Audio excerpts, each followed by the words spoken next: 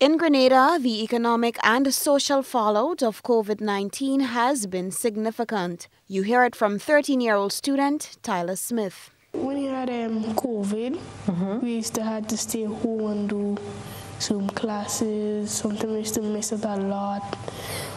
But we used to have to go to school. You, would you miss some of the classes on the Zoom platform? Yes. Why? Because the Wi-Fi used to give a lot of trouble. But it's not just the limited Wi Fi access that educators must now contend with. Rising cases in Grenada resulted in a pause on the planned reopening of schools, but Beyond the Headlines panelist Julie Lutz says it's no different in North Carolina.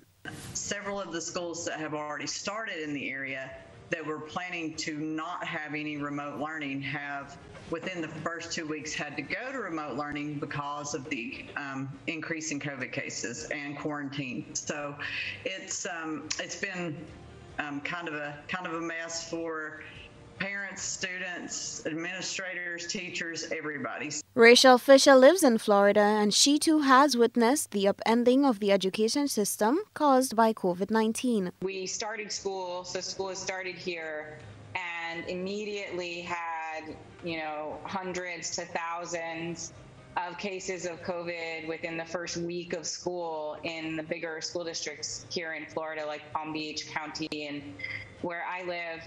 Um, and they are having to go to more remote learning. They're having to go to mask mandates.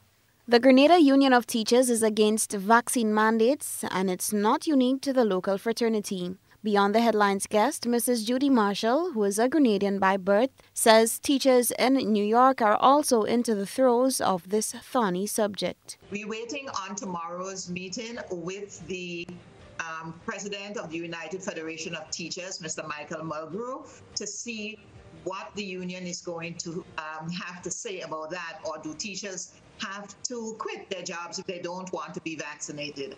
And I think a lot of the resistance comes from people not being, you know, not feeling comfortable being told what to do. I think the the resistance is, is mostly stemming from that resentment that somebody is telling a grown person what to do with their own body.